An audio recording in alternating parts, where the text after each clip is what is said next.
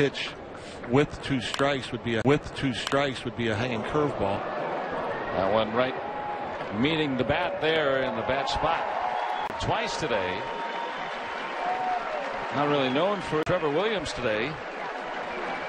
His third spring home run now.